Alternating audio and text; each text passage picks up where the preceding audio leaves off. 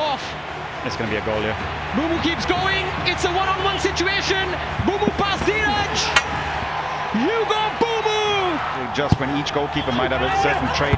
Oh, header comes in. Dheeraj beats it away. And then once again, it's gone in. They're looking for Angulo. Ortiz uh, looking to pry them open. Glan Martins from distance. Oh, what a shot that is. Noguera. In comes the crossing. Angulo! It's an equalizer. Ortiz onto his right side. Ortiz! Jahouh's eyes are always lighting up with possibilities. And talking about possibilities. Who were in the lead and then back back and they go up again!